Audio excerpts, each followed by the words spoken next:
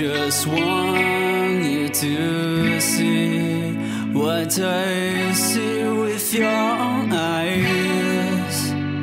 I just want you to see what I see with your own eyes.